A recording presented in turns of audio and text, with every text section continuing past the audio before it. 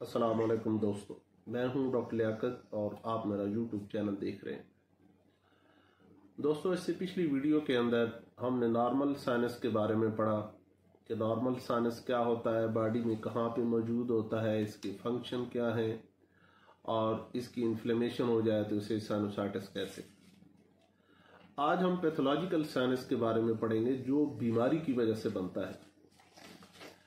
Pathological science basically ایک اب normal cutie ہوتی ہے یا ایک پیسج ہے ایک رستہ ہے جو ٹیشو کے ڈسٹرائے ہونے کی وجہ سے بنتا ہے مثال کے طور پہ آپ کے جسم کے کسی حصے کے اوپر اگر بوائل بن جاتا ہے پھوڑا بن جاتا ہے بعد میں وہ پھٹ جاتا ہے تو پھٹنے کی وجہ سے اوپر تو اس کا چھوٹا سا ایک سوراخ رہ جاتا ہے لیکن جو اس کا نچلا حصہ ہوتا ہے، نیچے اس نے ٹیشو کے اندر جا کے ڈیپلی جا کے ٹیشو کو ڈسٹرائے کیا ہوتا ہے۔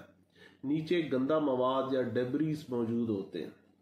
تو جو نچلا حصہ ہوتا ہے، اس کو ہم اس کی کیوٹی کہتے ہیں اور جو اوپر اس کی اوپننگ ہوتی ہے، اس کو اس کا اوپر والا منہ کہا جاتا ہے۔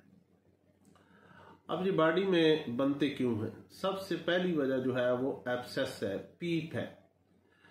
جسم کے کسی حصے کے اوپر اگر آپ کو پھوڑا بنتا ہے، اس کو انیشیلی اگر اچھی اینٹی بایوٹک کے ساتھ ٹریٹ کر دیا جائے تو وہ آگے بڑھتا ہی نہیں ہے۔ لیکن کچھ لوگ تو کہتے ہیں جی اس کو پھٹنے دیا جائے، یہ کچا ہے، اس کو پکا ہونے دے۔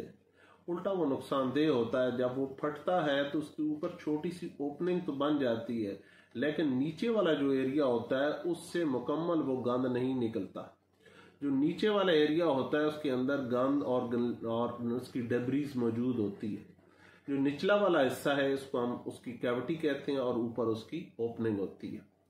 اسی طرح آپ کے جسم کے اندر مختلف، اگر کسی جگہ پہ فورن باڈی ہے، کوئی پلاسٹک کی چیز ہے، کوئی لکڑی ہے، کوئی کانچ ہے، کوئی چیز بھی آپ کے جسم کے کسی حصے کے اندر اگر پینیٹریٹ کر گئی ہے، تو وہ نیچے انفلیمیشن کرتی رہتی ہے اوپر چھوٹا سا اس کا سوراخ بن جاتا ہے۔ اس کی وجہ سے بھی آپ کے سائنسز بنتے ہیں۔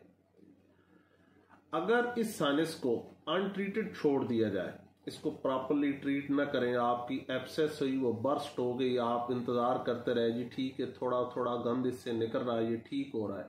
تو یہ اندر کی طرح مزید ڈسٹرکشن کرتا جاتا ہے اور اندر کسی اور آرگن کے ساتھ ایک منہ تو اس کا باہر کی طرف ہوتا ہے۔ ایک یہ اپنا منہ اندر جا کے کسی اور چیز کے ساتھ بنا لیتا ہے۔ اور یہ چیز اگر دونوں سائڈ کو جوڑ دے تو اس کو ہم فش چولہا کہتے ہیں، جو بہت ڈینجرس کنڈیشن ہوتی ہے۔ فش چولہا جو ہے، اس کو ہم اگلے ویڈیو کے اندر ڈسکس کریں گے۔ اب اس کے سائن اور سمٹمز کیا ہوتے ہیں؟ جس جگہ پہ آپ کی ایپسس بنے گی پیپ بنے گی، وہاں پہ آپ کی ریڈنس ہوگی، جگہ سرخ ہوئے گی۔ اس جگہ پہ آپ کو پین ہوئے گا۔ وہاں پہ آپ کی سویلنگ ہوئے گی اور اگر بعد میں وہ ایپسس پھٹ جائے گی تو وہاں سے ڈسچارج ہوئے گا۔ اسی طرح جسم کے کسی جسم کے حصے کے اندر اگر انفیکشن ہوتی ہے تو اس سے آپ کو فیور بھی ہو سکتا ہے۔ اب دوستو، اس کی ٹریٹمنٹ کیا ہے؟ جس جگہ کے اوپر بھی آپ کی ایپسس بنی ہے تو اس کو فوراً ڈرین کیا جائے۔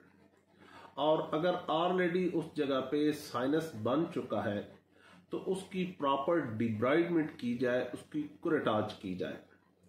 اور ساتھ گڈ اچھی اینٹی بایوٹک بھی استعمال کی جائے۔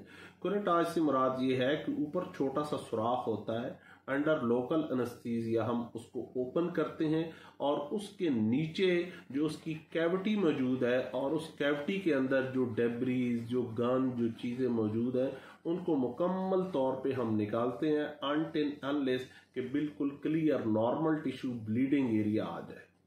اس کو ہم کہتے ہیں کوریٹاج جب تک آپ اس سائنس کی ڈرینیج یا کوریٹاج یا ڈیبرائڈمنٹ نہیں کریں گے، اس صورت تک یہ کبھی بھی ٹھیک نہیں ہوئے گا۔ بلکہ اوپر سے تو ہیلدی لگے گا، لیکن نیچے نیچے سے آپ کے ٹیشو کو ڈسٹرائے کرتے ہوئے اندر کسی آرگن کے ساتھ جڑ جائے گا۔ اور فش چولہا بنا دے گا، جو کہ ریلیٹیولی زیادہ ڈینجرس کنڈیشن ہے۔ تو دوستو، آج کے لیے اتنا ہی۔ یہ تھا اب نارمل سائنس کے بارے میں۔ آنے والی ویڈیو کے اندر ہم فش چولہا کے بارے میں ڈسکس کریں گے۔ آج کے لیے اتنا ہی۔ اللہ حافظ، پاکستان، زندہ باد۔